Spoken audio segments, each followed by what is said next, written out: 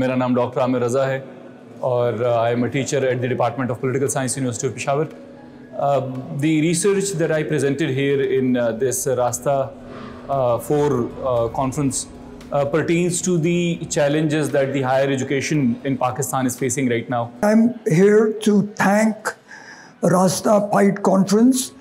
हम आ रहे हैं सखर से our research was mainly focused on trying to understand कि जो पब्लिक हेल्थ सेक्टर वर्कर्स हैं डॉक्टर्स हैं नर्सेज हैं पैरामेडिकल स्टाफ हैं वो किन कंडीशन से गुजरते हैं जब वो अपनी परफॉर्मेंस दे रहे होते हैं and I believe that this kind of a networking system that RASTA and PIDE has developed is very strong in enforcing or encouraging research uh, people to work together and gain.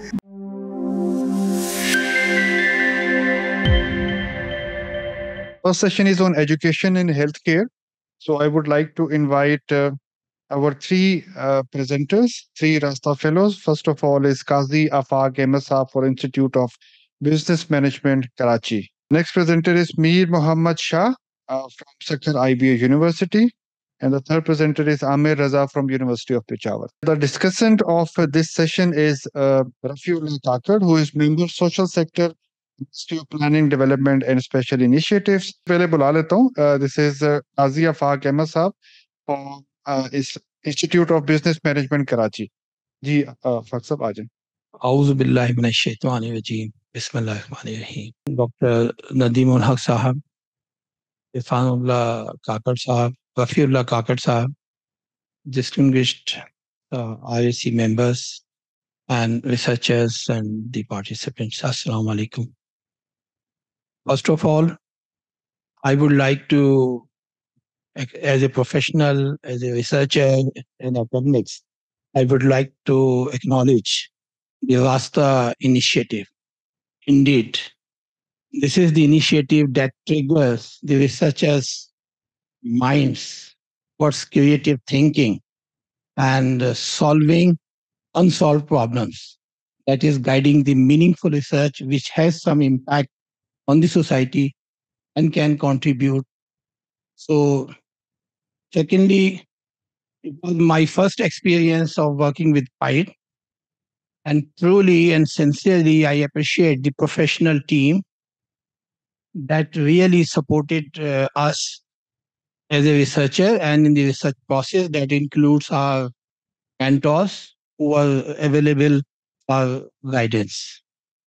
Now the uh, our project is on pharmaceutical. So pharmaceutical industry has been consistently performing well since decades. I recall in 90s and 20s, uh, the, the industry was led by multinational companies. Top five companies were multinational. Alhamdulillah, they out of top performing uh, five companies, at least three are national players. And indeed, the quality of medicine they are producing is of high standards. Indeed, our plants are good. Indeed, we have professionals who can really make impact. However, what is the problem? Not get our contribution in export and image. Problem is over dependence of APIs. These are pharmaceutical ingredients. This is the ingredient that remedy, star binders and other things. So Pakistan's dependence is up to 85% on imported raw materials. That creates a, one side creates a supply chain risk, and other side it impacts on the affordability, prices, and availability of the medicine. So this study is focused to how we can develop this API industry in Pakistan. I would like to give you a, a brief about global landscape of uh, pharma and API industry. If you look here, the pharma market is 1.5 uh, trillion dollars market. If we look at the API market, 200 and 216 billion US market. Uh, and currently, uh, if we look at the the the the where the production of the APIs, critical ingredients, uh, US uh, is the leading the market uh, production by 41% in terms of value. If we look at the volume, then China is leading the uh, global manufacturing, 54% followed by India. Uh, now, if you look at the regional players, India perform exceptionally well. Percent of global demand for generic is met by India. They are their um, API market size is 1109 billion in 2024. They have six, 65 plants. So this is the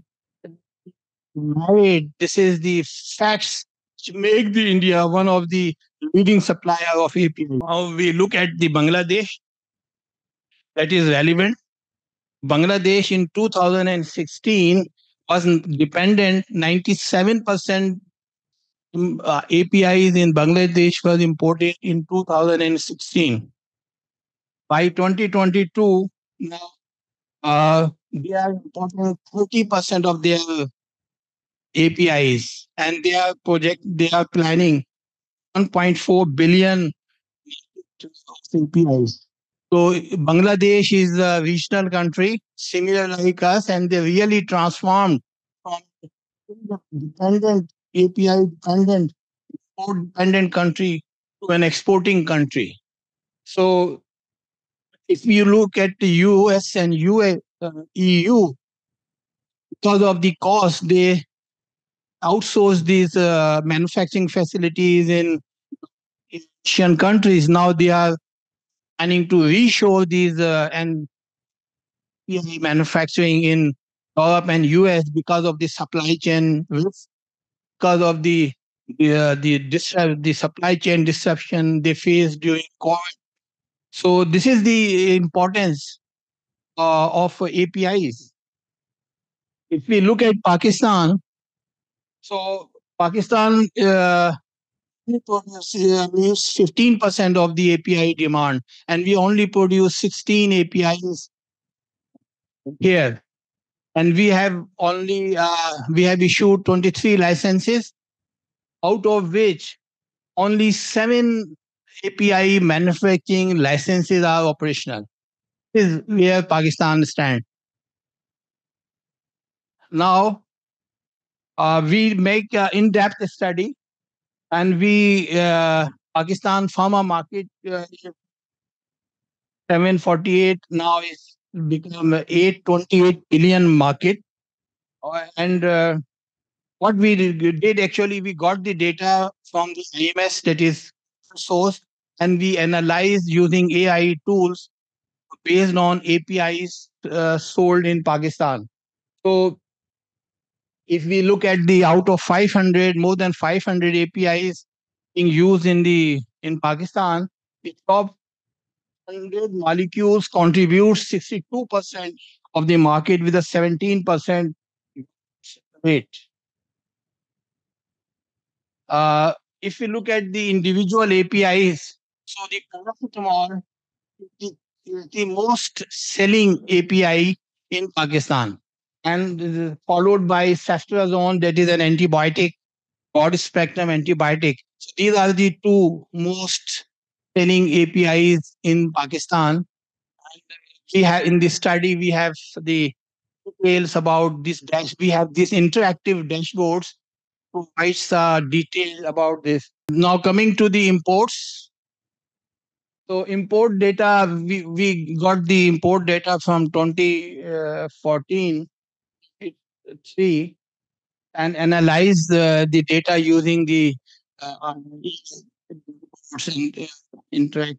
So you look at the last nine years, we imported 1735 million dollars APIs in Pakistan. The main supplier of the API is 61% is China. India, that is 28%. And we have in the study, we have the details about each API. Now, if we look at the figures in 2022, import of APIs in 2022, the China, China is, uh, has been supplying 68% of the APIs, followed by India 23%. And here you can also see uh, top of uh, APIs. That's being the topmost uh, top importer, followed by the other companies. Again, fluoxetine and derivative, that is antibiotic, is the most imported API in Pakistan. If we look at here, the 330 million API market, uh, sorry, 33, 330 million imports in 2022. Okay. Again, the main supplier is, China with 68%, and we have all the details in the dashboard and the study. This is important. What are the reflection of the analyzing the import data of APIs? If you look at here, out of 330 million API market uh, imports, 120 million APIs are those APIs Pakistan already has the capacity to produce. And I have listed the APIs which are being manufactured in Pakistan, but still we are importing. It means if we just think about of uh, encouraging the local pharmaceutical companies for substitution on both 125 to 125 million may be possible. Again, uh, the Chinese uh, uh, is 68%. And, in, and again, the problem with the Chinese API is they have these serious quality issues. And when we import and export the products and others, so there are issues. But China, India is relatively better than China in terms of quality. However, again, जब हालात यहाँ खराब हुए, border issues हुए, so we have a shortage of essential medicines because the raw material was coming from India. So again, this is a supply chain risk for the country. अच्छा दूसरी चीज ये कि the important thing is if you look at finding three, three 30 million imports में six companies are the major players who are importing these PIs. So look at and see and engage them, then obviously uh, we can work on uh, the import substitution.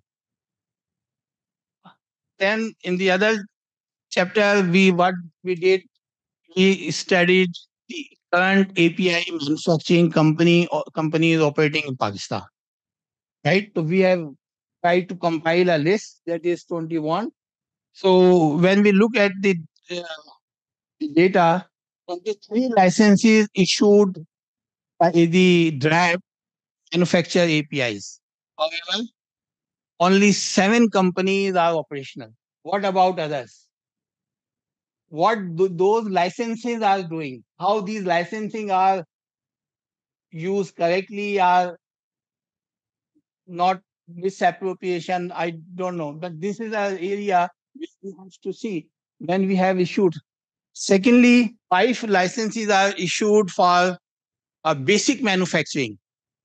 Basic means you are starting with the key starting raw material. But Currently, seven companies are operational and they are just processing intermediates. They import the intermediates with N1, N2, N3, finish it and market it. So it means, again, the, the basic manufacturing is key. And this is the area where we have to uh, focus. Uh, they have issued uh, 16, uh, 117 license for semi-basic manufacturing uh, hardly 30 APIs are being produced. अब दी सवाल ये है कि जैसे हमने कहा कि 125 API million dollar की वो APIs हैं which we have the capacity and we are producing. Why the local pharmaceutical companies are not sourcing this from the local suppliers. We have investigated this through the literature as well as through the interviews and very detailed process. So the three are the main issues. When we talk to the pharmaceuticals, they don't have the confidence on the quality of the APIs being produced locally.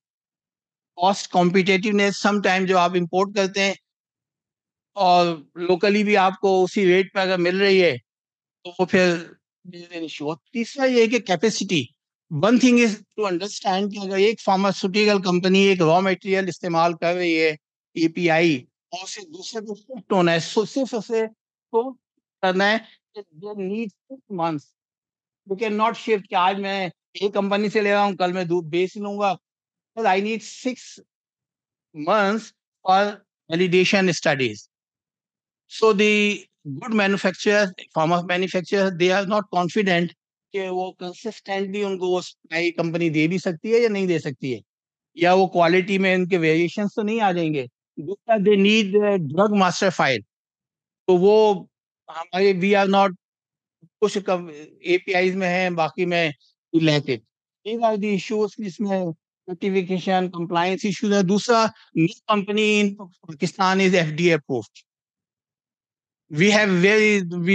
the uh, international accreditation तो जब तक आपका international accreditation नहीं होगा approval नहीं होंगी you are European and you we are exporting to hundred million मगर वो बहुत छोटे अफ्रीका इधर उधर करते हैं but we have potential up to one billion but हाउ एवर वी हैव टू सी इन इश्यूज़ को किस तरह रिजॉल्व करना है. Now we have we did in this, in this study first we do, did the literature professional reports review. Uh, what are the challenges? तो challenges जो उसमें हाईलाइट हुए वो रेगुलेटरी हर्डल्स हैं। इंडिया और चाइना पे ओवर डिपेंडेंस है shortage of bio equivalence labs ये बायो इक्विवेलेंस लैब्स की जो प्रोडक्शन वो होती है कोर्स होती हैं help you and to qualify for because international जो मार्केट में आप जाते हैं आपके पास इनकी रिपोर्ट्स ना हो इशू इसी तरह अप्रूवल्स जब ऐप के साथ जब आप इंटरेक्ट करते हैं तो इंडस्ट्री में ये माइंड सेट है, एक परसेप्शन है कि they treat them as masters industry को सपोर्ट चाहिए नए प्रोडक्शन पे जाने के लिए। ये सारी चीज़ें लैक करती हैं एंटागोनिस्टिक एनवायरनमेंट है। और we don't have national policy on और this is such an important issue दूसरी तरफ जब हमने we interview the CEOs of the APIs, manufacturing companies, pharmaceutical companies, people from DRAP, uh, scientists and others. So the themes and did the qualitative, qualitative analysis. So जो themes आए जिसमें ये which is the issue एक वही आया API import substitution. They say import substitution is possible. However, quality and capacity are the issues. Then they say API फार्मास्यूट API production scale up अभी हम बना रहे हैं एपीआई छोटे प्लांट्स हैं। ज़ाहिर है आपकी डिमांड भी छोटी है। तो जब इसको स्केल अप करेंगे तो फिर आपकी कॉस्ट कम होगी और फिर आप लोकली भी कम्पीट करेंगे और इंटरनेशनल मार्केट में भी कम्पीट कर सकते हैं। तो प्रोडक्शन को स्केल अप करना बहुत ज़रूरी है। उसके बाद quality compliance and international accreditation है अभी जैसे देखिए बांग्लादेश को उन्होंने छह सात साल में एक्सपोर्ट पे चले गए। तो जब छह सात साल में एक्सपोर्ट पे चले गए और उनका इसका मतलब है कि what is the what is the key success factor key success factor is F D approval international accreditation we need documents with drug master file which comply with the international export requirement. तो दूसरे countries में they can they don't compromise on this तो ये जो F D approvals नहीं है हमारे पास तो इसलिए हमें मार्केट रेगुलेटरी फ्रेमवर्क की ज़रूरत है। We have the policy on API मगर इम्प्लीमेंटेशन इज़ वेरी पुअर दूसरा इको इकोसिस्टम अगेन एपीआई पास नहीं है। अगर आप एपीआई और दूसरे इश्यूज़ हैं, सपोर्ट इंफ्रास्ट्रक्चर नहीं है we have the API policy made in 2022 but again उसमें सारी चीज़ें प्रॉमिस हुई एपीआई पार्क बनाएँगे इंफ्रास्ट्रक्चर बनाएँगे बट वो उस अमल नहीं हुआ। आर एन डी जो एपीआई है, उसकी जो बैकबोन है, वो रिसर्च एंड डेवलपमेंट है। अब एक केमिकल लेते हैं, उसको प्रोसेस करते हैं रिएक्टर्स में रिएक्शंस होते हैं उसके बाई प्रोडक्ट्स बनते हैं, उसको फ़िल्टर करते हैं तो इस need research R N D तो पाकिस्तान में basic R N D structure मौजूद है, हमारे एच जी रिसर्च सेंटर्स हैं और दूसरे हैं लेकिन support this R N D we don't have the structure है दूसरा टेक्नोलॉजी ट्रांसफ़र इंटरप्रेन्यर्स वो जो जो जो टेक्नोलॉजी आपको चाहिए हाई वैल्यू एपीआई बनाने के लिए वो यहाँ नहीं है।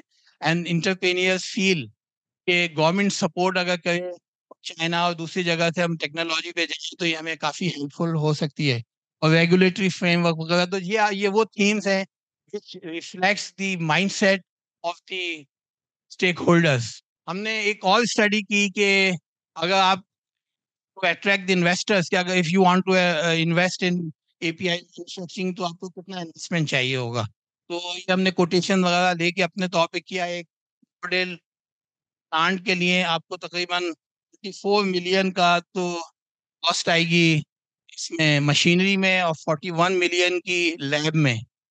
तो ये ये एक बेसिक पैरासिटामोल प्लांट क्या है। That is subject to variation of course. Depending on capacity, quality of equipment and these things. मगर इसमें मैन्युफैक्चरिंग में सबसे बड़ा इशू है प्लांट लगाने में that is regulatory environment impact assessment क्योंकि आपको जब बेसिक मैन्युफैक्चरिंग का प्लांट लगाते हैं तो you need treatment plant this is very expensive अगर एक कंपनी ने अपने पूरे लिए बन लगाना है तो उनको कॉस्ट इफेक्टिवनेस नहीं रहती। तो इंडिया एंड बांग्लादेश में उन्होंने water treatment plan environment protection ये उसका एक पूरा पार्क्स बना दिए हैं। जहाँ ये पार्क्स हैं, वहाँ पे ये सारी फैसिलिटीज़ उन्होंने दे दी हैं। तो वो जो इंडिविजुअल कंपनीज़ हैं, वो शेयर भी शेयर हो जाती है तो उनके लिए वायबल हो जाता है। और ये ये आई पार्क्स हमारी जो ड्राफ्ट की पॉलिसी थी 2022 में, उसमें भी उन्होंने रिकमेंड किए हुए मगर अभी तक। और दूसरा ये कि ज़ाहिर है अगेन जो इंडस्ट्री को ये माइंडसेट है कि when we go to the us like as a regulator. They don't treat us to facilitate it.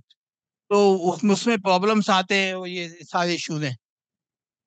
अच्छा अब हमने फार्मास्यूटिकल इंडस्ट्री का स्वाट किया कि what are the strengths where we stand अच्छा वेयर वी स्टैंड सो अब हमने, हमारे पास जो अपॉर्चुनिटीज़ हैं अभी ब्रांडेड मेडिसन, ब्रांडेड टीआईज हैं और जो ऑफ़ पेटेंट होने जा रही हैं हम इन्हें बना सकते हैं। चैलेंजेस हमने डिस्कस किए। स्ट्रेंथ मैंने आपको बताई कि फार्मास्यूटिकल इंडस्ट्री बहुत वाइब्रेंट इंडस्ट्री है वी हैव गुड प्लांट्स और दूसरा हमने रिस्क ऑफ़ सप्लाई चेन ये सब हमने डिस्कस कर लिया। Now coming to the coming to the we have propose a model that can could be followed अब इस मॉडल में ये इनेबलर्स हमने सब डिस्कस किए हैं। कि टेक्नोलॉजी ट्रांसफ़र स्केल और आर एन डी ये अगर हम कर दें, हम अपना जो एक्सपोर्ट और ये साथ कर सकते हैं।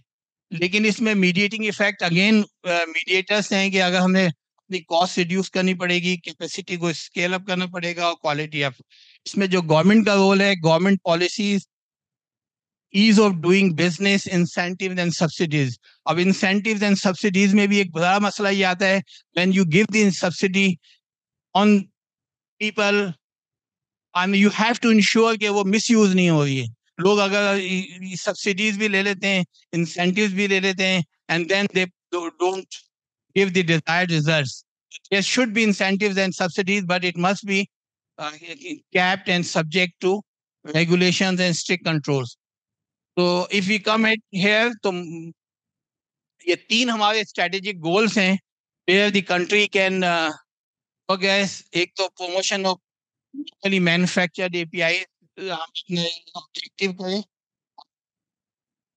हमारा है लोकलाइजेशन ऑफ़ फार्मास्यूटिकल भी देखिए, जो फार्मास्यूटिकल कंपनीज़ हैं, वो फार्मुलेशन इंडस्ट्री है। तो हमें उनको वी शुड इंगेज देम कि वो वर्टिकल इंटीग्रेशन पे जाए। ताकि वो नीचे उसको एपीआई मैन्युफैक्चरिंग में जाएँ। जो एपीआई मैन्युफैक्चरर्स हैं, वो प्रोड्यूस कर रहे हैं इंटरमीडिएट यूज़ कर रहे हैं। उनको इनकरेज किया जाए कि वो नीचे बेसिक मैन्युफैक्चरिंग में जाएँ ताकि कंट्री को फ़ायदा हो।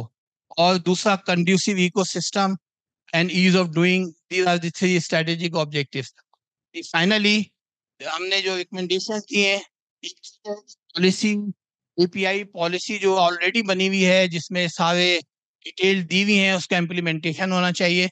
अभी ट्वेंटी परसेंट से ज़्यादा इम्प्लीमेंटेशन नहीं है।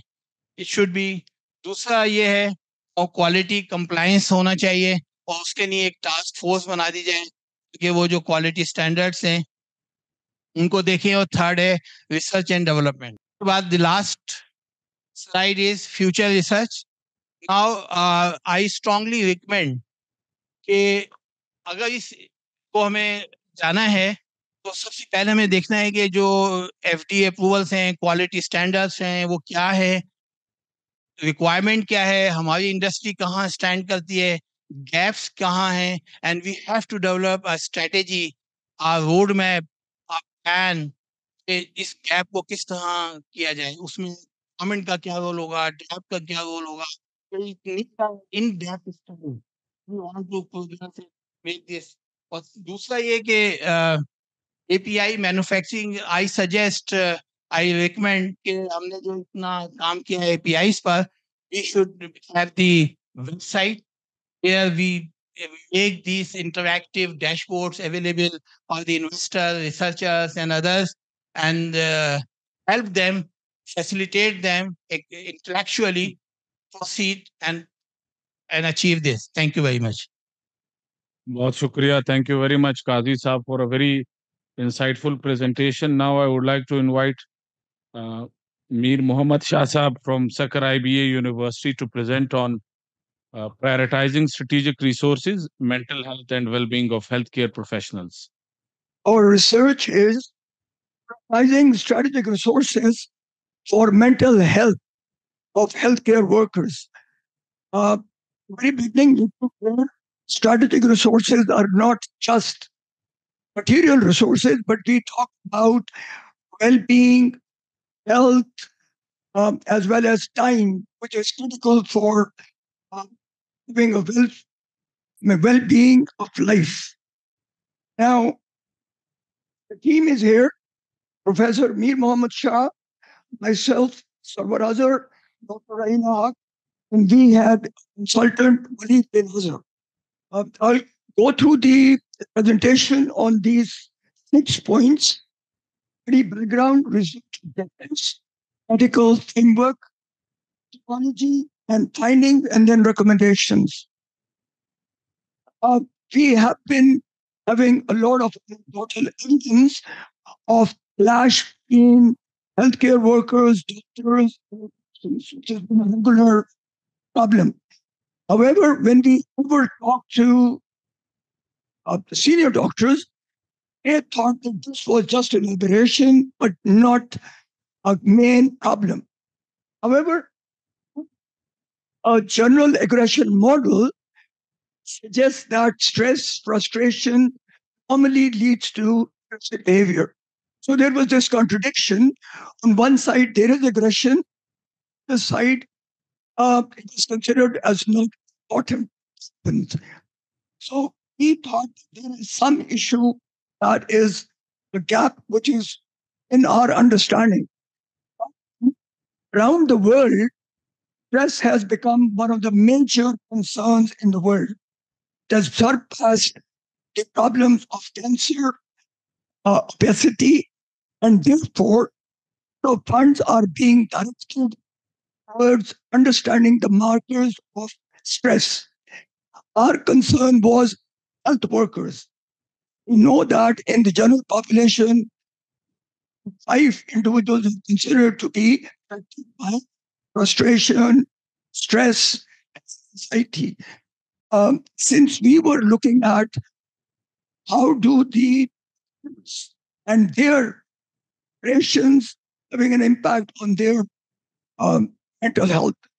So in that was these three objectives to understand if anxiety and stress is part of their life. Second, the sources and markers of this stress creating situation. Finally, propose excuse me. And he concentrated only in Sindh. And for that purpose, we have to select two stations. One, Karachi, Sukkur, favor of a strong urban center as well as rural center to understand. Uh, the underlying theories. Um, it is a theory uh, proposed by Sen, and there are a number of other supporters to it. And then we have Nussbaum, who has actually worked on this ability theory in the health sector. Resource, which basically means if you lose resources, your time is affected, you will become stressed and anxious.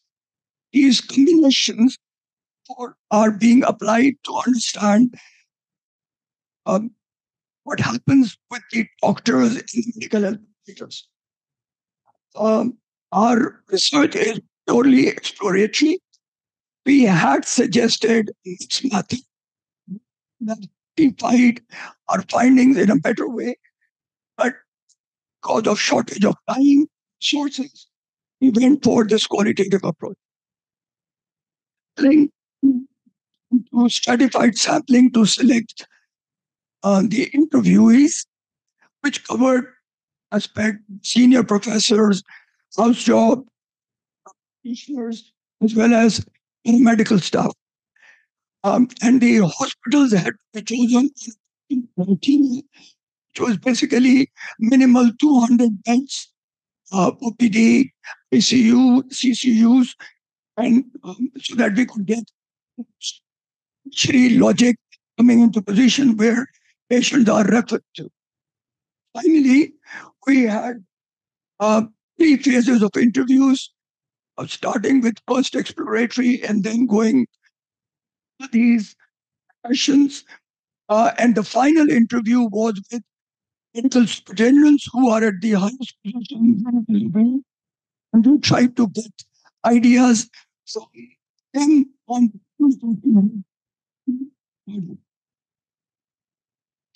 um, strata included medical superintendents, senior professionals, physicians, junior physicians, house workers, and even lower staff to the level of the house or the cleaning staff, guards which are operating in hospitals. Um, like I said, we selected hospitals from two Karachi and Sukkur, and we had to look at both sectors, public and private. Um, we already had a feeling that private sector hospitals are not prone to these stressful conditions. And we will discuss why this is so. Now, we already suggested that we select hospitals and we had to 40 um, interviews to cover till we reach saturation. Uh, final, like I have already told you, were from substance, the substance. We had got interviews were covered. covered. second finding that we found was patient overload. Uh, I will give you total evidence. I have watched it happening that in OPDs, a doctor was catering to more than 150 patients Internationally, standard is 16 per six hour period. That means 10 minutes for one patient. If we were seeing people going over 150, some cases even 200 people were being looked after by one GP, the practitioner. And that was creating a mess in the hospital system. Uh, the reason for this is particularly in Sen policy. Any patient comes. There is no refusal for any reason. Report shortages. Now, again, we have observed that on one bed we could find patients with two difficult, different medical conditions. One bed, two medical conditions. You can imagine the problem of treatment as well transfer of sicknesses going on locality. Third, patient's behavior. Patient behavior, but the attendance. Since there is no awareness for being a hospital, in Pakistan we find one patient being supported by seven to eight family members, all come to the hospital and park themselves in the so that unfortunately uh, they want to relieve themselves or have problem premises of the hospital, creating a lot of stress, low staff work, which gets communicated upward to the higher levels, and that creates a mess. Um, then primary and secondary health services have a lot of problems. Are after they lack facilities for people do not trust the system. Other two uh, problems that we discovered, which is uh, external to the hospital system, is lack of training. And here I need to clarify training is not a professional training, where medical training is very good. They are constantly being trained in stress management, in coping with patients' behaviors, being able to communicate with patients. You normally find in the international systems right patient and their people who go along with the patients how to take care of these things. The final was of mentorship. Now, obviously, as told by the senior doctors, there was a very strong connection between professors and doctors. Uh, they would regularly interact with doctors. They would allow them to communicate by being monitors there. However, because of changing conditions, economic conditions, more and more professors have started into uh, private practices. So the time they're used to give to the junior doctors the wards has now grown, and that has contributed majorly to the strong engagement between the doctors and professors. This created a cycle which then leads to miscommunication, misbehaviors, stress, and so on. Uh, finally, the recommendations that we have. Our suggestion is to reduce pressure on tertiary hospitals because tertiary hospitals receive patients from catchment areas which are located around the urban cities. For example, uh, in Karachi, will come from Kotki. They don't go to Sukkur, but they will travel all the way Karachi Jinnah Hospital, trauma centers, wherever they just moved there. No referral, no method of scheduling into the main hospitals. So the first um, uh, uh, recommendation would be to initiate a general practitioner system which has been very successful in England um, the one which has carried their healthcare all along, uh, has to be integrated by the IT framework because referrals from the GP, tertiary hospitals has to pass through per uh, IT or communication system. Um, particularly also that GP training has to be provided because it's not a simple method. One have to be trained in terms of registrations, how to give pensions, what level of care they can provide, and so on and so forth. Now, in Karachi, for example, the hospitals are now located in built up areas. There is no more capacity to do good. The amount that has to be shipped from the hospitals which are now located in Karachi may be now to primary and secondary care where there is markable weakness in, that system. And that is why patients or the patient's uh, dependents do not trust healthcare system, primary or secondary.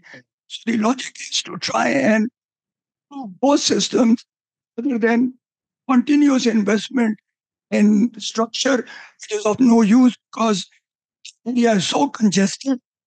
Uh, traveling to the urban center is becoming more difficult. Um, the third is there has to be public awareness. Now, this was very significant uh, because language differences, uh, the knowledge, background education. So there was a proposition. Somebody said somebody could help us. We have signages. We have signs which explain to the patients where to go, what to do, how to get there.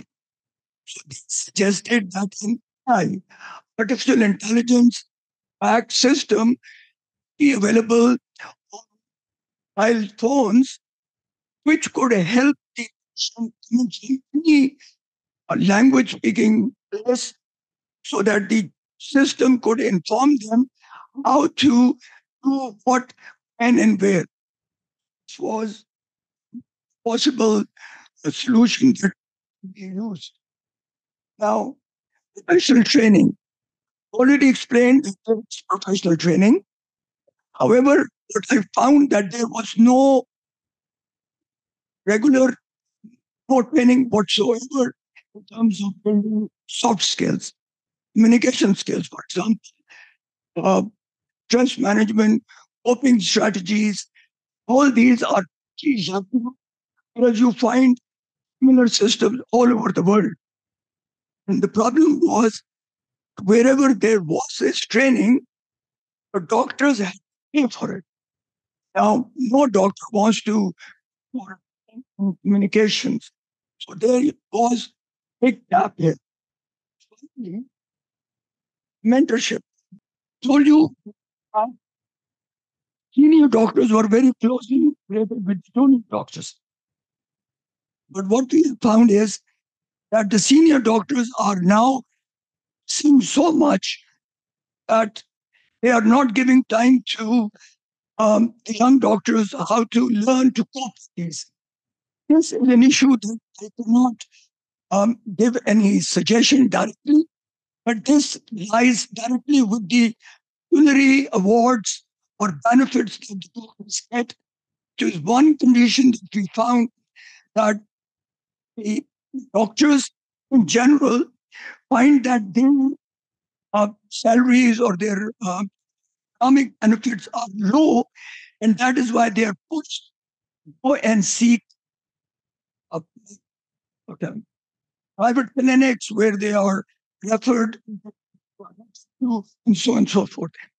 One point that I need to clear private and the public sector was established that private sector में ये problem नहीं है वहां जो patient जाते हैं they already are very well aware will be paying for everything whereas public sector hospitals not charging anything maybe a nominal fee but the problem is definitely with the public sector hospitals private thank you very much the Thank you very much, Dr. Saab, for the very insightful presentation. Now I would like to uh, invite uh, Mr. Aamer Raza Saab from University of Peshawar to present on the state of higher education in the wake of the 18th constitutional amendment. Ji, Bismillah Rahim. Uh, Assalamu alaikum, everyone. Uh, first of all, I'm very thankful uh, to the PIDE Rasta team and uh, to RAC to uh, provide researchers like myself this opportunity. Uh, Nadeem Saab uh, spoke about the state of the study of economics in Pakistan. I'm a political scientist by trade, by training, and uh, I I'm sure he knows, and I'm sure many of you in the audience know uh, that uh, the state of political science is not much different when it comes to uh, policy inputs or uh, tangible policy solutions. Uh, honestly, uh, that we have to offer to the policymakers.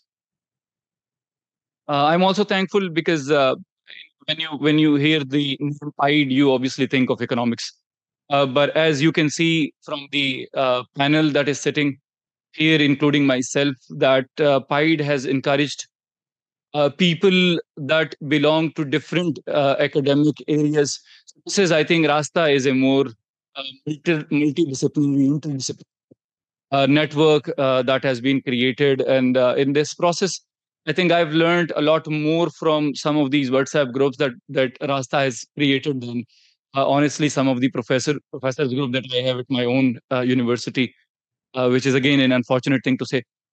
Uh, मेरी अपनी जो research है uh, coming to uh, coming to the today's presentation, uh, this comes partly from my own frustration. Uh, obviously, I'm a professor at a public sector university, and you keep hearing, I'm sure, आप लोग सुनते आ रहे होंगे कि जी universities के अंदर financial crisis है यूनिवर्सिटियों के पास पैसे नहीं है तनख्वाह नहीं दे सकते हैं वगैरह वगैरह So, as someone who is effective both in terms of someone who works at such an organization, secondly, because I'm a citizen of this country, uh, and someone who uh, uh, solutions, as Nadeem Saab said in the beginning, solutions need to found for problems.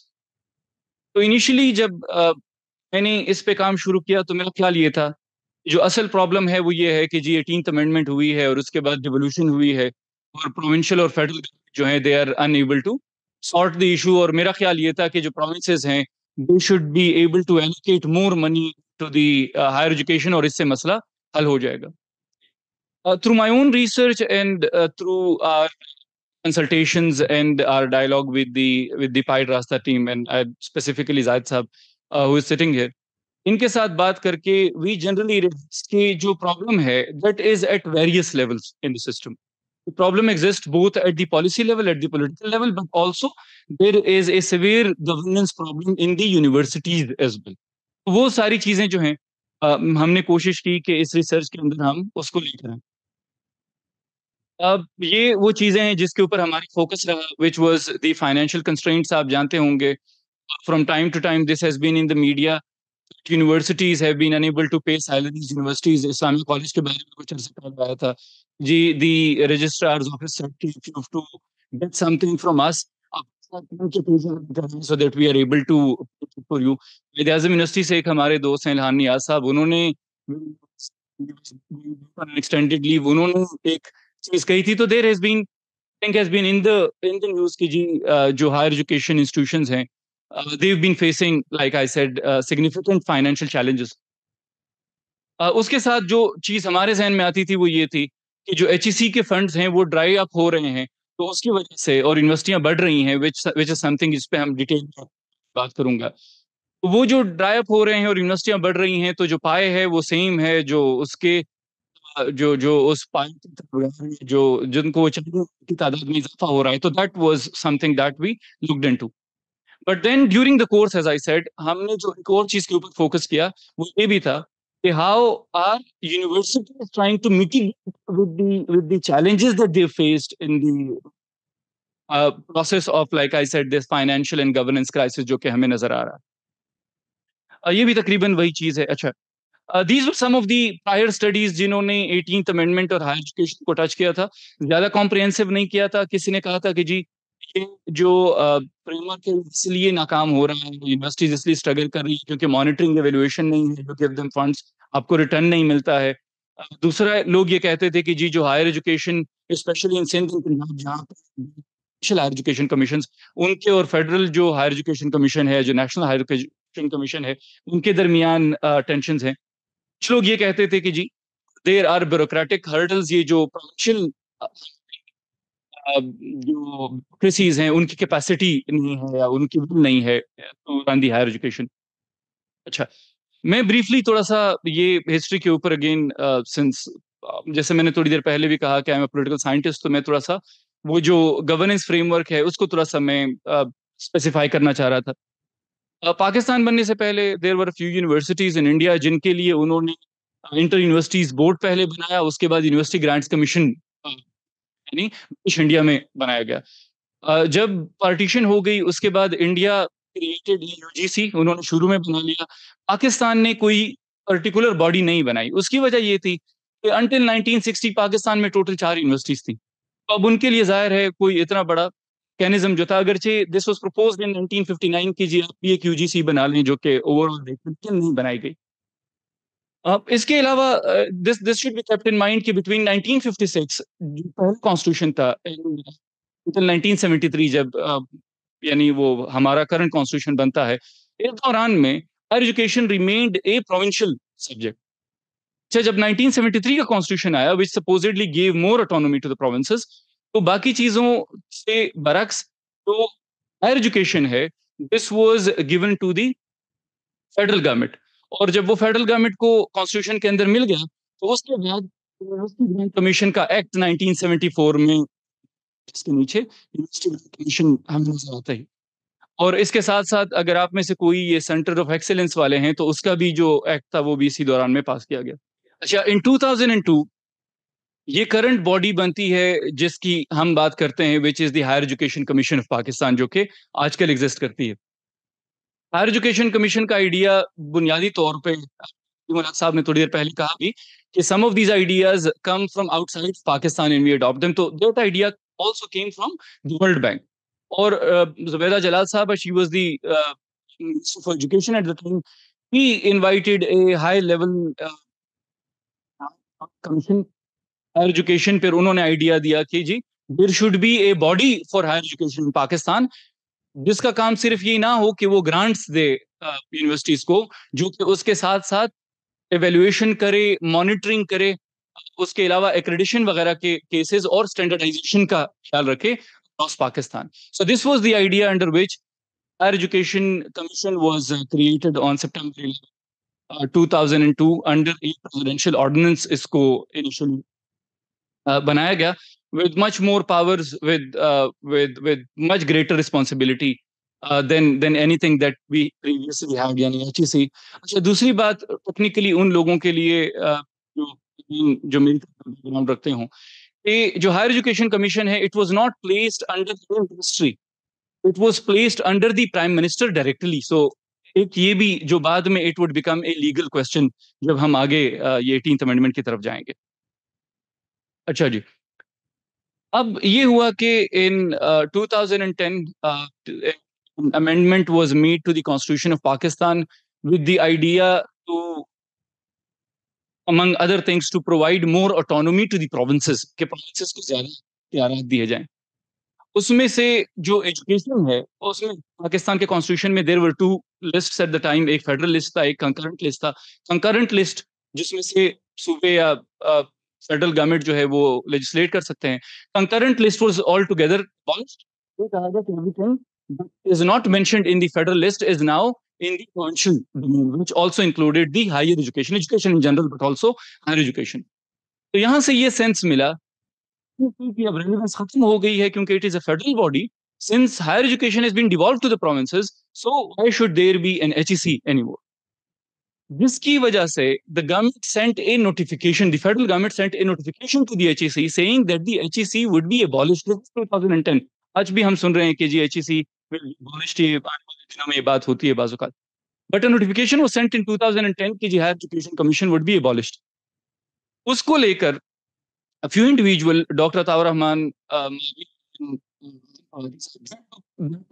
supreme court उन्होंने petition की कि जो list है, उसके अंदर ये लिखा हुआ है कि जो स्टैंडर्डाइजेशन है still remains with the federal government ठीक है? तो उन्होंने ये कहा कि स्टैंडर्डाइजेशन कौन करेगा?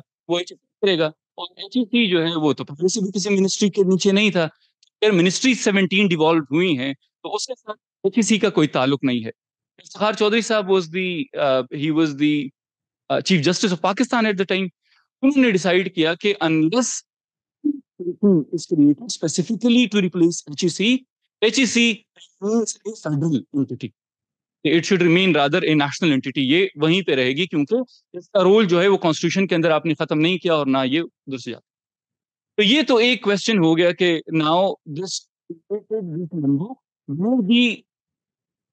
common people believed कि जी डिवॉल्व हो गया है और किसी चला जाए लोकली भी एक्ट पास किया बलूचिस्तान ने पास किया सिंध और और पंजाब ने पास किए तो एक्ट भी उन्होंने पास कर लिए लेकिन एच अपनी जगह पे मौजूद रहा सो दैट वो contradiction create between like I said the reality and the practice of it अच्छा साथ में इशू ये आया कि अब इनकी फाइनेंसिंग कौन करेगा who would provide the grant to the universities eighteen amendment जब हुई तो उसके लिए an implementation commission was constituted under the headship of Senator Raza Rabani, who was also the, the person who spearheaded the, the amendment itself. So there was an implementation commission. Implementation commission का काम ये था कि they had to look at the 18th amendment and they had to see कि जी इसको कैसे अब practical बनाना है. So one of the issues that came up was the higher education and higher education commission. In 2011, अच्छा और इसके लिए जो बॉडी जो बॉडी है, जो इन मैटर्स को देखती है it is the council of common interest जो कि हाई पावर्ड बॉडी है, जिसमें प्राइम मिनिस्टर होता है और जो चीफ मिनिस्टर्स होते हैं। तो इन 2011 जो कमीशन था implementation commission it brought the matter of HEC to the council of common interest in it proposed until the time there is an eight NFC award क्योंकि जब एटीन अमेंडमेंट हो रही थी, उससे पहले सेवंथ एनएफसी अवार्ड हुआ था, जिसमें आप लोग जानते होंगे कि resources are distributed between provinces in the in the federal government and between the provinces तो ये कहा गया कि until the time there is an eight NFC award higher education की जो फाइनेंसिंग है it remains the responsibility of the federal government this is 2011 and under uh, Gilani Saab, he was the prime minister at the time, Yusuf Raza Gilani Saab, the federal government agreed that they would continue to finance higher education until the time an eighth NFC award. Now, Pakistan still does not have an eighth NFC award. Abhi tak nahi hua, which constitutionally should have been done almost a decade ago, it should have been done, but we do not have an NFC award. I spoke with uh, Senator Afrasiab Khattak Saab. His view was that the reason that the that there are people who do not want an eighth NFC award to be concluded because it could because the last NFC had decided that the province's share can only be enhanced, it cannot be reduced. So the only way an, an eighth NFC can go is to increase the share of the provinces, which I think the federal government already struggling uh, would be an issue. Khair I just wanted to to to kind of give you the background of where the challenges come from. When I spoke with different individual, both in the universities and outside, उसमें से एक चीज जो बार बार आती थी वो ये थी कि तो की responsibility. When I spoke with H E ने ये कहा Khyber Pakhtunkhwa mein, for example, there are 20 universities that have been created after 2010. So if the provincial government is creating universities, why is why is it not taking responsibility for financing these universities? That's a genuine question.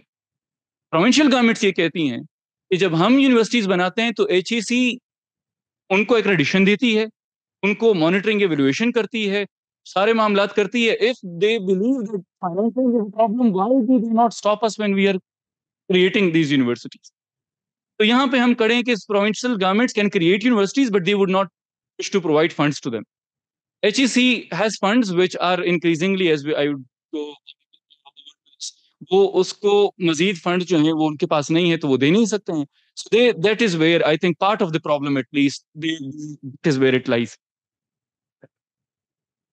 ये वो chart है जिसमें आपको नजर आता है the growth of universities the exponential growth of universities rather in Pakistan. As I said that the time of independence, Pakistan had a single university by 1960. We had four universities by 2002 जब H बना तो Pakistan had 59 universities out of which I believe 37 were public sector universities ठीक है? By 2023 when I receive this data जब वो हमने HEC की website से लिया Pakistan has 261 universities so and, and then you can also see that especially after 2010 उसमें exponential मजीद उसके अंदर बहुत ज़्यादा इंक्रीज हुआ है। in the number of universities that have been created in Pakistan. So you can see the expansion of higher education sector in Pakistan during this time. Uh, when we see, and I'm sure many of you, or rather most of you, come from uh, academia and you've been in universities long enough for you to know that the growth in terms of universities has not only happened in the number of universities, the number of programs with universities have also exploded. उसके अंदर भी बहुत ज्यादा इजाफा हुआ है especially during the last 10 years or so we've seen that there are many programs that have been initiated in universities without any care for sustainability. Now, for example, in my own university, in University of Peshawar, we have a regional studies department that was created five, six years ago. Now it is being abolished right now as we speak. Uh, we we have criminology department to which students do not get enrollment. So you would see that the expansion is not only taking place in terms of the number of universities, but also in terms of the the number of programs and the faculty and the employees that in universities तो आपको हर तरह से so I I wouldn't like I said this this is the kind of growth that we are seeing uh, in in this sector funding कहाँ से आती है for uh, for universities uh, funding जो है that primarily is from the federal government 2010 से पहले तो federal government almost exclusively provided funding to the universities after after 2010 after 2010 Sindh has started to allocate, especially in the recent years, it has started to allocate more finances to the universities. लेकिन खैबर पुख्तनख्वा और बलूचिस्तान उन्होंने जैसे मैंने कहा उन्होंने provincial H भी नहीं बनाई और उनकी जो फंडिंग एलोकेशन है वो भी नहीं है अब जब हम फंडिंग की बात करते हैं आप देखते होंगे कि गवर्नमेंट्स यूजुअली से कि we are increasing funds to the higher education now in this lower graph you can see there are three graphs within the uh, lines within the the lower lower chart उसमें से जो ऊपर वाला है that is the accumulative ये सारा जो higher education के पास जा रहा है। जो नीचे वाला है ये डेवलपमेंटल ग्रांट्स हैं। और जो बीच में है ये रिकरिंग है ना। और recurring is where universities pay their salaries और पेंशन और their day to day expenses वहाँ से वो रिकरिंग से जो आपको होता है यूनिवर्सिटीज को फिक्स अमाउंट होती है। वो सिंस 2017 18 19 वो बिल्कुल वो बिल्कुल लाइन जो है हो गई है। Federal government has almost made it stagnant over 60 65 billion rupees के ऊपर उन्होंने उसको को स्टेगनेंट कर दिया है कि, कि हम इससे ज़्यादा रिकरिंग ग्रांट में नहीं दे सकते हैं। अच्छा अब लेकिन जब आप ओवरऑल सुनते हैं तो मिनिस्टर ऑफ़ फाइनेंस की तो आपको नज़र ही आता है कि वो कह रहे हैं कि हमने तो हायर एजुकेशन के पैसे बढ़ाए हैं। वो बढ़ाए कैसे होते हैं? ये जो आपको नज़र आ रहा है कि जी डेवलपमेंटल डेवलपमेंटल में क्या होता है? पिछले से पिछले साल लैपटॉप स्कीम लेकर आए लेकर आए दस अरब रुपए की। तो that was included in the universities grant और कहा गया कि हायर एजुकेशन को हम पैसे दे रहे हैं।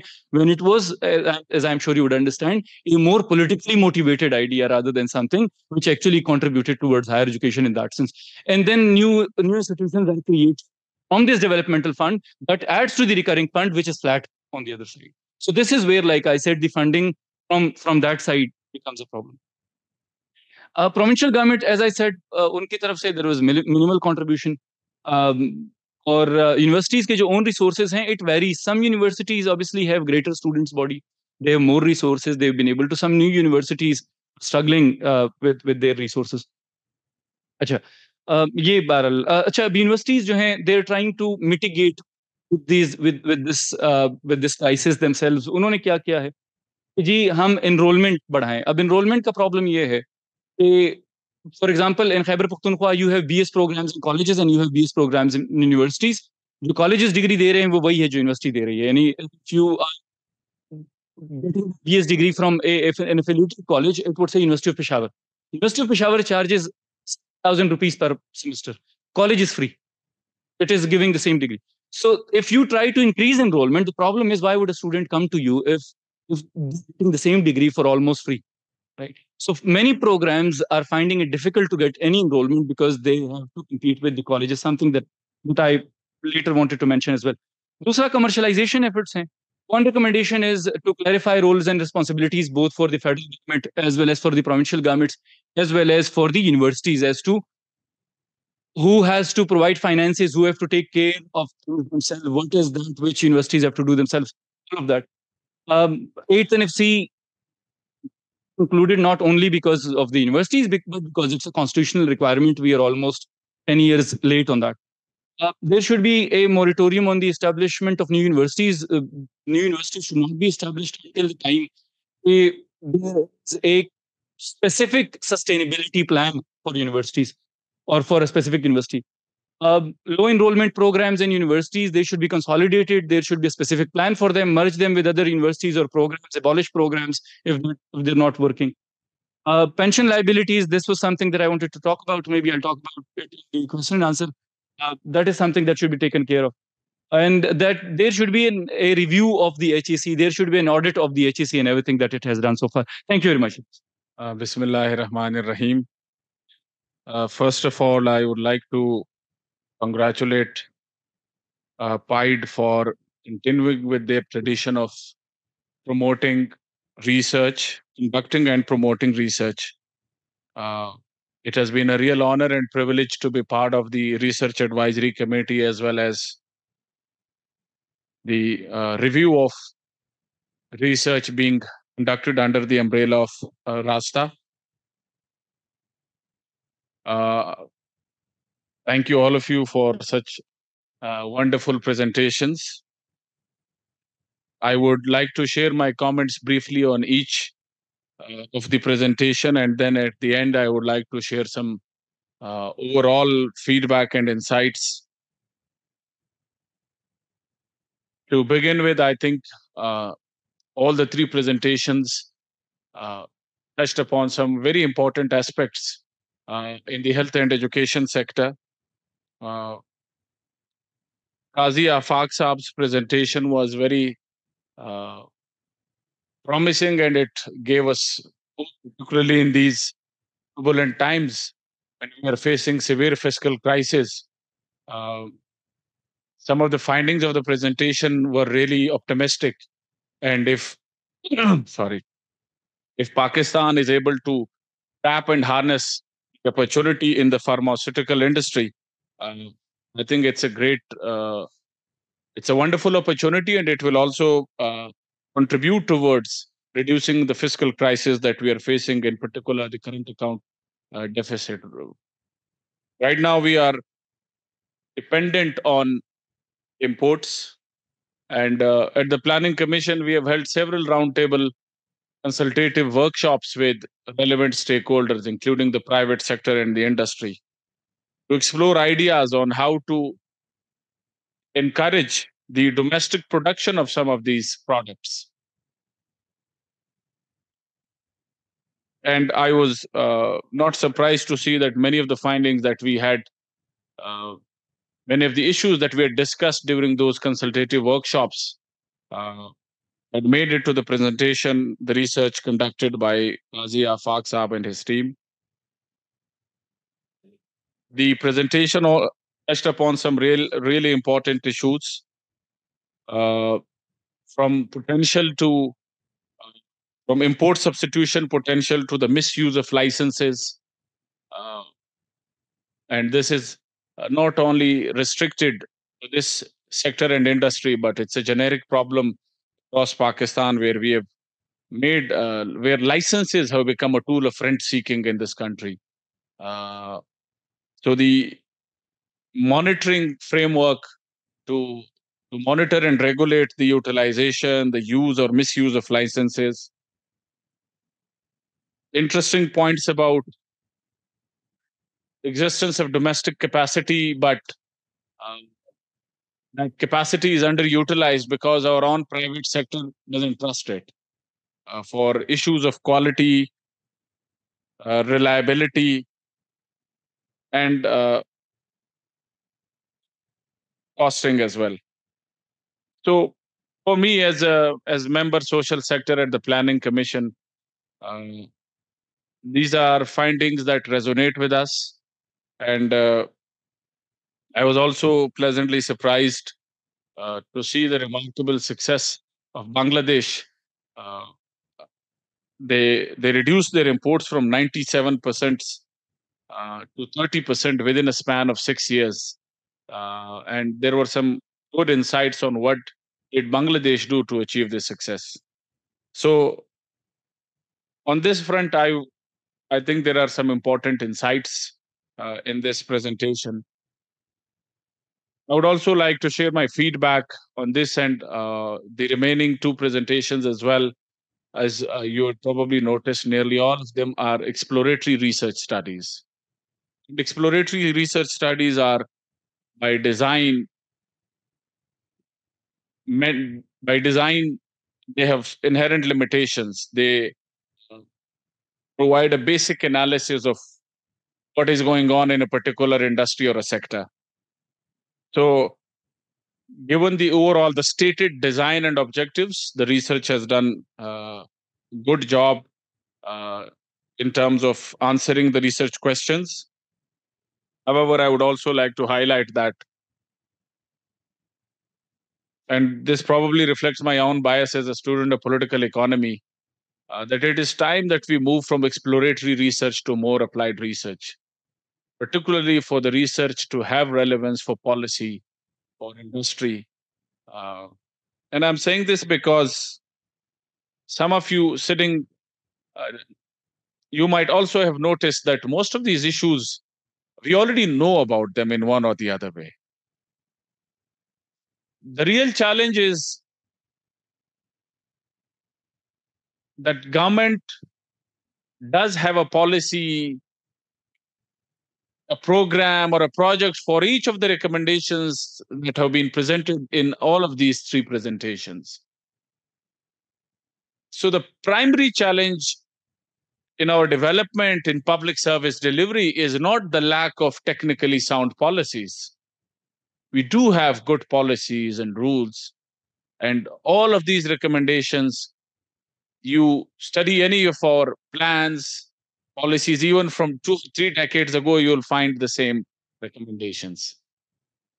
The real challenge is the limitations of the government to implement some of these recommendations and the failures of whatever policies are being implemented or initiatives are being implemented. And this has been widely recognized now in political economy literature, where prominent and renowned political economists have referred to the capability trap. Dr. Nadeem Ul Haque's favorite Lant Pritchett also has written about it, and uh, many others, where they say that one of the biggest challenges that developing countries face is not the lack of technically sound policies. It's almost always an implementation problem. And implementation problems, implementation failures, primary focus of our public policy research. So it's one thing to highlight needs to be done, ideally speaking, but it's another thing to analyze why what is being done is not working, why the existing public money that is spent on education, that is spent on health, that is spent on higher education is not delivering the resi- desired results. Why efforts being made in the name of regulatory reforms, in the name of ease of doing business, why are they not yielding the desired results? So those are some of the more applied questions that we need to probe in order for our research to inform future policy. Uh, the presentation on mental health and well-being, I think, again, it was a very important aspect. Uh, mental health uh, is become a, is becoming a major challenge, but it's not acknowledged. It's under acknowledged. So I fully endorse the significance of this issue. Uh, again, as most of you might have felt, the findings are not surprising. I mean, these are the issues we face in every public sector uh, hospital and in every public sector organization. They are poorly structured, resources are resource availability issues are there. What for me was very insightful and I can relate to it because my wife is a doctor. She works in a public sector hospital. Uh, it also highlights the constraints that frontline service providers face in these public sector organizations, be they teachers, be they doctors. And it's very easy for those of us who are outsiders these systems to criticize the frontline service providers without understanding the uh, inherent cities involved public service delivery. So, for example, in this case, this research has rightly highlighted the issues that your frontline health workers face in public hospitals at the hand of patients as well as their attendants. And that's because the poorest segment of your society goes to these hospitals. Middle class, upper middle class, they have opted out of public schools, public health. They go to private hospitals. The poorest segment of the society goes to these hospitals, and uh, the frontline workers have to manage and face them as if they are responsible for everything in the entire health delivery chain. So these are some of the issues that the researchers uh, rightly pointed out, uh, and understandably they would add the mental health stress, the working conditions, in particular for female doctors. They are very uh, unsupportive. In terms of the uh, my feedback, I think first I would not repeat it, but it's again another exploratory research. Most of these issues we already know. This research, this research has done a good job at uh, pointing out those issues, at highlighting those issues in a more scientific manner. Uh, in terms of the methodology, I think uh, it would have been fruitful if there was more information on how the private sector hospitals were chosen uh, because there is significant diversity within private sector as well uh, and the findings might be different if uh, we choose a low cost private sector hospital over some of these big uh, large corporate private sector hospitals. Last presentation was on the state of higher education in pakistan. It's again something we have discussed in detail at the planning commission as well and the issues that have been highlighted are spot on so primarily in the wake of the 18th amendment key takeaways from this presentation were the provincial government are reluctant to take ownership of the universities although they have implemented uh, model university acts they are very interested to the extent of appointment of vice chancellors, pro vice chancellors. But when it comes to financing these universities, there is a reluctance in the provincial governments, except uh, for the province of Sindh, which has done a good job at providing public financing to these universities. The federal government appears to be interested in retaining some of the pre 18th Amendment rules, but without having the money packet. uh, particularly now that some fiscal uh, the federal government is revisiting its policy of financing higher education. Universities, on their part, have not the situation either. Unfortunately, this I'm saying as member science technology and as as a member of the senate of a couple of universities. So bad governance within the university uh, has also contributed to it, where we have uh, overhiring, uh, and I wouldn't go into the detail, but that has over the years contributed to the fiscal crisis that some of these universities are facing. In my own uh, humble opinion, I think the roles and responsibilities are very clear when it comes to the constitution. It is the responsibility of the provincial governments to manage their universities the federal government or the HEC is only responsible for standard setting and quality assurance. Unfortunately, both HEC and federal government also want to retain some of the role that they shouldn't have.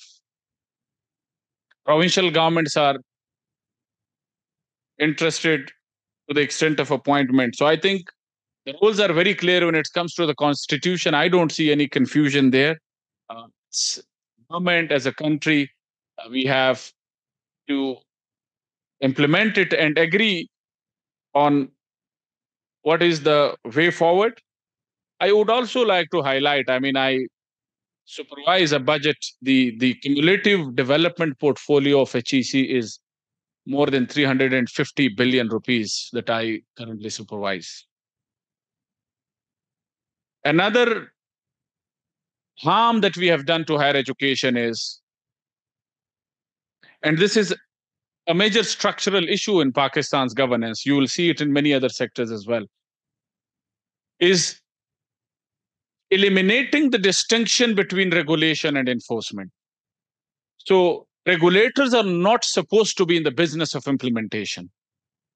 HEC was supposed to regulate higher education. However, over the years, as government, we have engaged HEC in implementation and financing, which has happened at the cost of HEC playing its role of regulator. It's a conflict of interest issue. And no wonder, while we have made significant progress in expanding access to higher education. We are facing major challenge when it comes to the quality of higher education. And one reason why we have poor quality is because HEC has almost given up on its role of quality assurance uh, and monitoring. The time, resources, attention that should have gone to quality assurance, enforcement of standards has basically gone to enforcement of projects and financing issues. We see the same in skill sector where NAVTTC, which was supposed to be a regulator, is spending more time, resource, and policy attention on implementing projects. So this is a structural problem. We need to de-link implementation uh, from regulation. Those entities that are supposed to regulate should never be involved in the business of regulation because money will run after money and money will always crowd out other functions, mundane functions, not so fancy functions such as quality assurance and monitoring. These I would like to conclude, and uh, my single biggest feedback on some of these great presentations is that while they have done a tremendous job at highlighting the basic issues in these sectors, I would like to uh, conclude with this argument that we need to shift from exploratory research to more applied research to understand what are the drivers of implementation failures. Why do some of the best policies fail? Why does public spending on health, education, higher education does not lead to the desired results that we uh, intend for them at the beginning? Uh, thank you very much. सही दस पंद्रह minute है कोई चार पांच questions ले लेते हैं आ, मैं आ, आपसे गुजारिश करूंगा मुख्तसर अपना नाम बताइए और ब्रीफ एक क्वेश्चन पूछिएगा जी Assalamualaikum ji, this is Dr. Naseem Khan Mahsood. I'm from Allama Iqbal Open University. I have just like two of the practical suggestions for two of the presenters.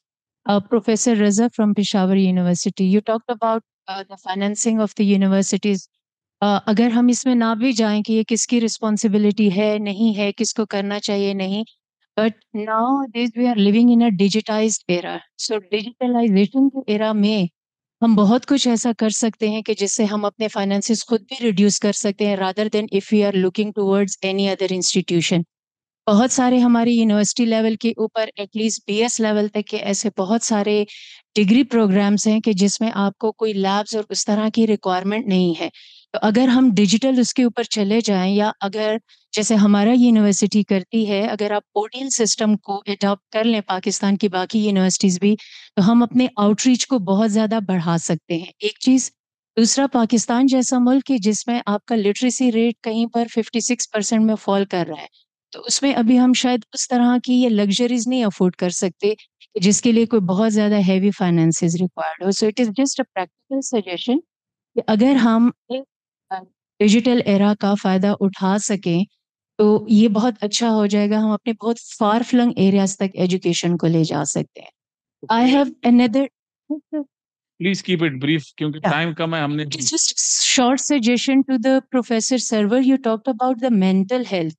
बहुत इंपॉर्टेंट इशू है but still sir in the west और specifically अगर मैं welfare states की भी बात करूँ तो वहाँ पर भी अपने जो हेल्थ केयर प्रोफेशनल्स हैं वहाँ पर भी वो उनको नहीं कर रहे हैं accommodate specifically with reference to the mental health अगर उनको कोई इश्यूज़ होते हैं तो आपने प्रेजेंटेशन में मुझे कहीं लैकिंग लगा कि अगर कोई भी आपका हेल्थ केयर प्रोफेशनल बर्नआउट होता है, उसके लिए या कोई ब्रेक या कुछ भी ऐसा है सिस्टम कि जिससे वो थोड़ा सा रिफ्रेश होके दोबारा अपनी उन सर्विसेज़ को उसी तरह से अच्छे तरीके से परफॉर्म कर पाए? थैंक यू जी, बहुत शुक्रिया। हम दो और क्वेश्चंस लेते हैं और फिर एक साथ आप जवाब दीजिएगा। जी वेरी क्विक क्वेश्चंस कि ये एपीआई की स्टडी में आपने बताया कि 10 करोड़ का प्लांट लग जाता है। फिर मुझे समझ नहीं आ रही कि इतना सस्ता प्लांट है कि तो मैं भी लगाने को तैयार हूँ। पॉइंट ये है कि ये प्रॉफिटेबिलिटी इसकी कोई है कि नहीं है? दूसरी चीज़ प्लांट में लगाने में मसला क्या है? मैं सोचते थे एपीआई बड़ी कॉम्प्लिकेटेड चीज़ है, इसीलिए हम बाहर से इम्पोर्ट करते हैं। तो that's a big problem why don't we have a big API industry का 10 करोड़ का प्लांट है, इस्लामाबाद में तो एक प्लॉट नहीं मिलता 20 करोड़ से कम। अच्छा आगे चलें, दूसरे जो है, अपना मेंटल हेल्थ वैसे मेंटल हेल्थ पे एक चीज़ डिस्टिंग्विश करनी चाहिए। ये तो कंट्री है ही मेंटल हेल्थ का प्रॉब्लम पूरी कंट्री में मेंटल हेल्थ है। उससे डिस्टिंग्विश तो करें ना पहले। हमारी तो कंट्री में मेंटल हेल्थ सब मुझे समझ नहीं आती। All the way from top to down everybody is पागल। तो इसको पहले डिस्टिंग्विश कर लें थोड़ा सा, ठीक है? और स्ट्रेस में हम रहते ही हमारा स्ट्रेस ही है, जिधर से निकलूँगा अभी सड़कें बंद हो गई, सड़कें उधर से चाहूँगा उधर बंद हो गई, ये हो गया, वगैरह वगैरह। अच्छा जी, थर्ड जो एचईसी वाला है एचईसी पे मुझे नहीं बिल्कुल समझ आ रही। Should the H even exist do need N H E C is this another example of the world bank making us do silly things क्योंकि एचईसी का मुझे मकसद नहीं समझ आता, क्या डिग्री अटेस्टेशन करना उनका काम है? डिग्री टेस्ट करने के जो इतने लोगों को तंग करते हैं, पैसे लेते हैं, क्या तमाशा है? ये तो हर रेगुलेटरी बॉडी कहती है, मुझे पैसा दे दो किसी तरीके से। दूसरी एच क्या रोल प्ले करती है? इन टर्म्स आपने यूनिवर्सिटी तो बताई, आपने पाइट की स्टडी देखी है, जो हमने देखी है कि दीज आर प्रोफेसरलेस यूनिवर्सिटीज तो कोई फ़ायदा नहीं ट्यूशन सेंटर्स हैं। Can we get out the tuition centre दुनिया से हम कम्पीट इनसे करेंगे।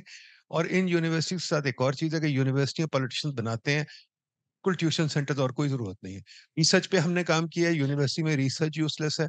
तो इसको भी तो फैक्टर इन करें ना तो यूनिवर्सिटीज का अगर हम कॉस्ट बेनिफिट निकालें जस्ट लाइक हम कॉस्ट बेनिफिट एपीआई का निकालें तो मुझे लगता है कॉस्ट बेनिफिट हमारा तो ज़ीरो ही नेगेटिव ही आएगा सॉरी थैंक यू डॉक्टर साहब.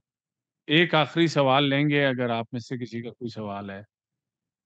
सलामकुम मेरा नाम नदीम है पाइट से मेरा ताल्लुक है। मेरा सवाल बड़ा सिंपल से सर आपसे स्पेशली जो आपकी स्टडी थी एच के बारे में कि जो एच जितनी भी नई यूनिवर्सिटीज बन रही हैं, जैसे आपने जो डाटा दिया 261 यूनिवर्सिटीज का, अब शायद ये 180 क्रॉस कर गया और इसी तरह ईयरली हम 24 25 चार्टर अप्रूव कर देते हैं पार्लियामेंट से।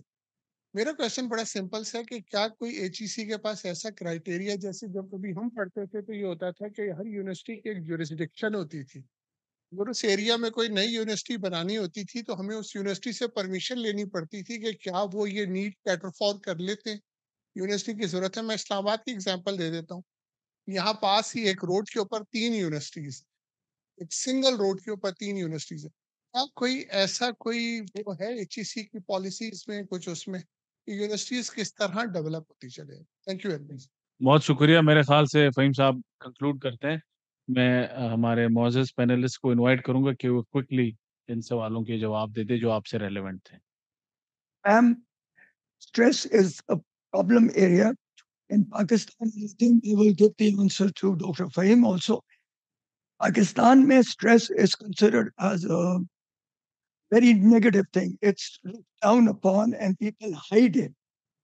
But you could so anxiety हो frustration हो लोग उस पे जादू का प्रॉब्लम डाल देते हैं इसलिए we do not bring it out yes in the western world there is stress but those markers are different in, in Pakistan those markers and markers that we have are distinctive according to Wellcome each marker needs a specific intervention Pakistan में जो intervention है वो फर्क है जो बाहर है वो अलग है वहाँ प्रॉब्लम ये है कि we do not even have the approach to coping strategies blip को छोड़े अ, जो मेडिकल प्रोफेशन है वहाँ नहीं फाइनली 2022 की रिपोर्ट में ये 500 psychiatrists for a population of 22 crores. You can see the difference and how can you figure it out unless we look at each area and intervene. GP system is one possible. There are so many others you could figure out was from the people who are it. Thank you very much. जी doctor साहब आपने सही point out किया कि दस करोड़ में अगर factory लग जाए लेकिन आई एग्री के लेकिन आप ये देखें हमने अ, किसी भी इंडस्ट्री की फिजिबिलिटी बनाना दिस बहुत बड़ा काम है और दूसरा बहुत सारी कॉस्ट ऐसी होती हैं कि जो सब्जेक्ट टू लोकेशन है अब इसमें लैंड कॉस्ट नहीं है कॉस्ट नहीं है एनवायरनमेंट की कॉस्ट नहीं है, तो हमने बस ये एक छोटी सी ये कोशिश की अगर एक बेसिक हमें आइडिया हो कि how expensive it would be हमने ये कोशिश की कि एक बेसिक अगर आपने पैरासिटामॉल सच एस बनाना है प्लांट तो उसकी बेसिक रिक्वायरमेंट क्या होंगी? Excluding all the infrastructure cost दुनिया में ये होता है कि लोग एपीआई इंडस्ट्री को प्रमोट करना चाहते हैं चाइना में इवन इंडिया में तो वो फ्री लाइन देते हैं लो कॉस्ट लाइन दे देते हैं यूटिलिटीज दे देते हैं जैसे मैंने कहा कि इन्वायरमेंट प्रोटेक्शन की बहुत बड़ी कॉस्ट है। मेजर कॉस्ट है जो लोग बियर नहीं कर पाते इंडस्ट्री तो वो पे एपीआई पास बना देते हैं शेयर्ड कॉस्ट हो जाती है तो सब्जेक्टिव कॉस्ट है फिर किस तरह की टेक्नोलॉजी ले रहे हैं कहाँ से सोर्स कर रहे हैं that will obviously impact and the cost would go far more than what's mentioned here but it only covers a model equipment and quality testing uh, cost so uh, thank you problem is not cost or the resource required to establish one. You need of people to work in those factories. Why are we so worried about quality? Because our people are not trained or skilled in doing those things. We lack trust.